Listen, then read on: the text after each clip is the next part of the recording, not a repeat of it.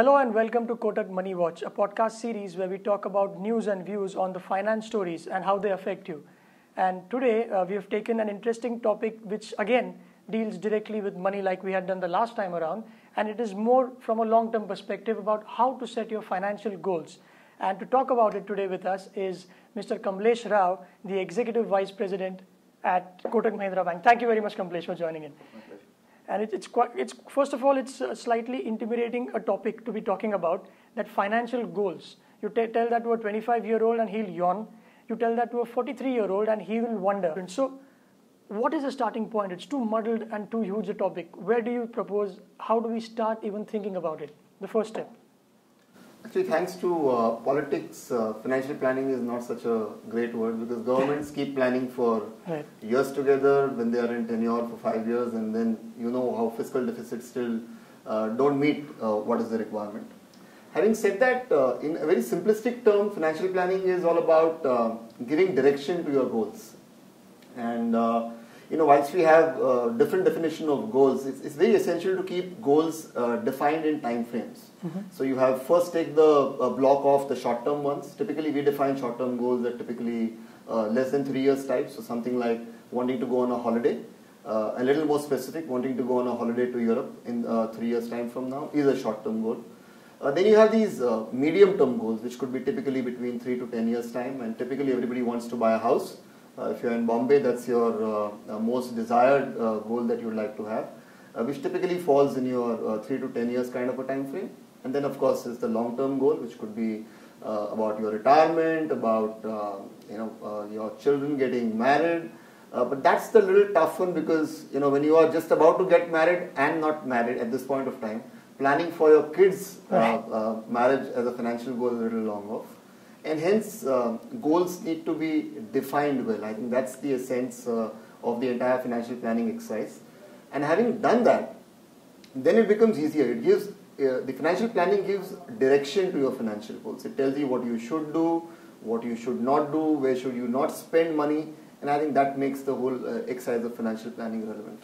Right. And here you're not exactly talking about your day to day requirements. Here, when we talk about goals, it's not about budgeting for the month. Like you said, uh, planning a holiday in Europe will require some amount of milestones that uh, at the end of three months I should have this much income and all of that.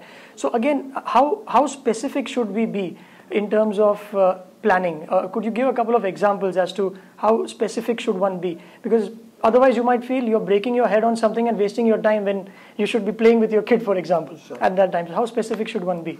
No, we have a very uh, uh, commonsensical way. We, we, we normally uh, prescribe to our customers uh, on the priority banking side because they plan uh, for their money.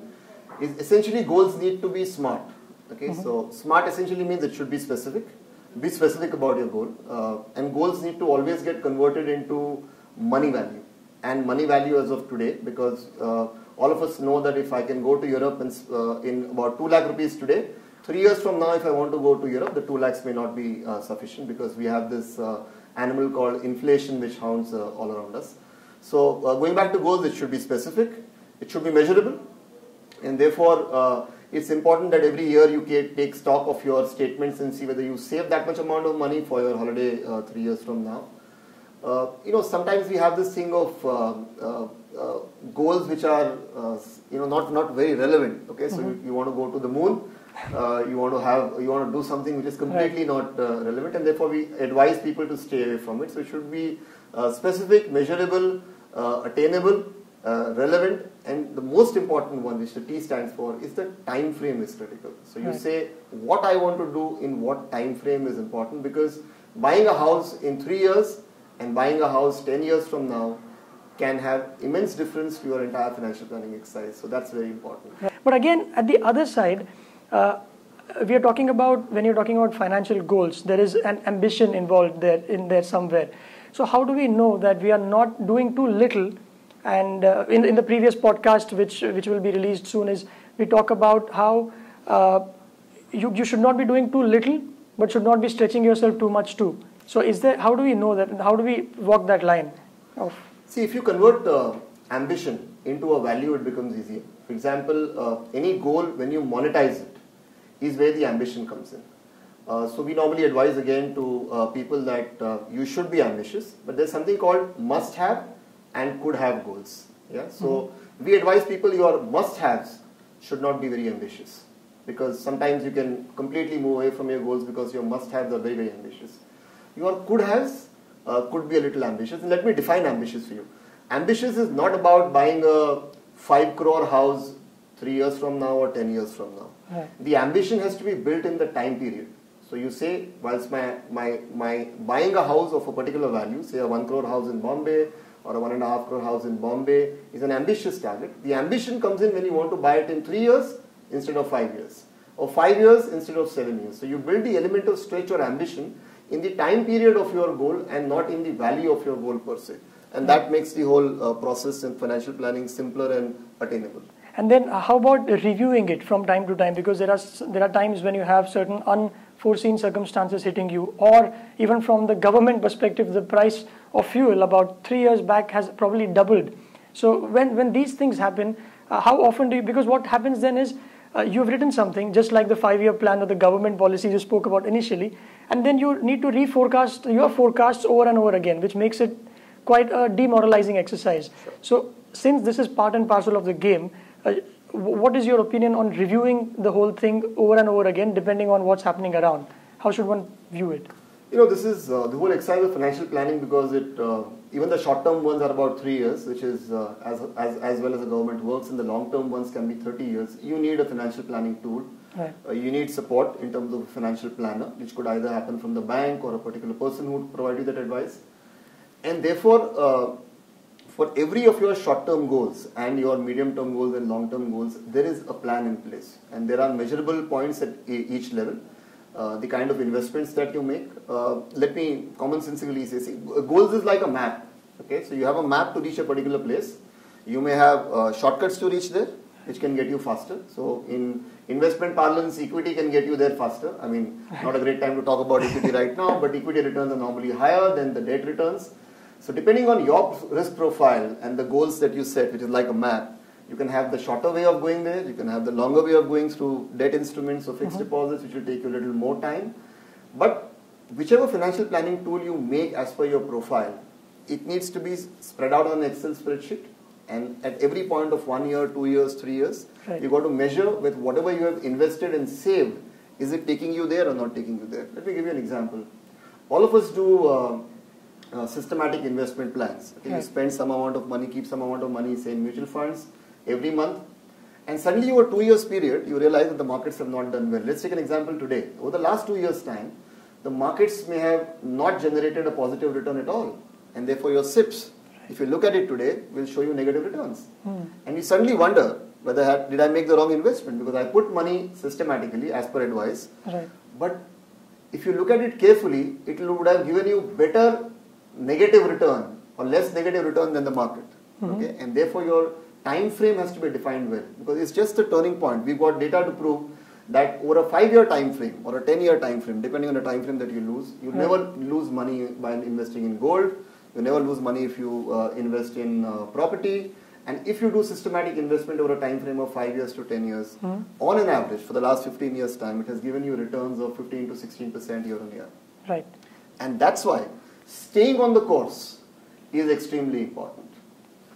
Because after two years, if you evaluate that this is not the right time and therefore you move out, maybe mm-hmm. just about the time when your investment is going to generate return for you. And therefore, discipline when you right. do financial planning for either a three year, five year, 10 year, 15 year time frame is extremely important. And therefore, a tool, a financial planner, or a bank that helps you do your financial planning mm-hmm. is the essence of being able to do a efficient financial planning exercise. So then, like you said, there are a few asset classes. Uh, I'm sorry, I'm using a jargon when you should be using, but yeah, like for instance, uh, equity or gold. Uh, when do you know that you're doing the right thing? Because you, you hear so many rumors, you hear so many people talk about things, whether it's a tip or whether it's uh, uh you know an expert telling you where to invest, and you feel that look, my friend just went again a cliche laughing to the bank by selling off stocks of one particular company or invested somewhere which got him higher returns so should we just block everything and like you mentioned 10 to 15 year time frame put that money in an, a systematic investment plan and not bother about how much you're earning right now because uh, uh that no, dilemma is always there. I I, w- I wouldn't say the same size fits all is a is a, is a right uh, tool for financial planning because mm-hmm. different people uh, have different risk profiles. So I may be a guy who's ready to take a little more amount of risk. It's a function of whether uh, I, am in a family where both husband and wife earn, or I am a family in which only I earn and dependents are uh, large. So it could vary, and therefore, uh, getting to a uh, correct bank who provides you this kind of an advice or a financial planner is extremely important. Right. Uh, and depending on your risk profile and the key factor of inflation, I think in financial planning you have to keep in mind that what your money can buy today mm-hmm. will not be able to buy the same thing three years, five years uh, uh, down the line, and therefore inflation is inbuilt into an efficient financial planning tool, and therefore you need to have the right asset allocation. Uh, sorry, you led me to using the uh, jargon. Uh, asset allocation essentially means depending on your profile, right. you will have certain part of your money uh, on the liquid side, which is available so short term like bank account, deposits, mm-hmm. and so on a certain part of your money will be in the equity class, again depending on your risk profile, and right. certain part of your investment would either be in real estate or long-term debt. And if you plan this well mm-hmm. and plan for a period of time, okay, my sincere advice, your friend made money by selling something is not the reason whether you should buy or sell what he bought or sold because he could have just been lucky at the right time or you right. could be unlucky at the wrong time. So financial planning is not about tips. Financial planning is about uh, first understanding your own risk profile and based on that making the investment in different asset classes and then staying on course for a longer period of time right. but evaluating the course at regular intervals of one year two years with your bank or with your financial planner to see whether the course is right or you need slight mid-course corrections to make sure that you rebalance your portfolio. Right. That's the essence of financial planning. Nicely put. Thanks a lot, Kamlesh, for your time. Uh, this is obviously this kind of a topic is, it cannot be explained in 15 or 20 minutes, but you're quite succinct in your observation. So let's hope we, we learn a little something out of it. By you, you mentioned discipline and then you mentioned review. So these are the two things that if you and one size fits all don't work. Sure. Thank you. Thank you very much. Thanks a lot.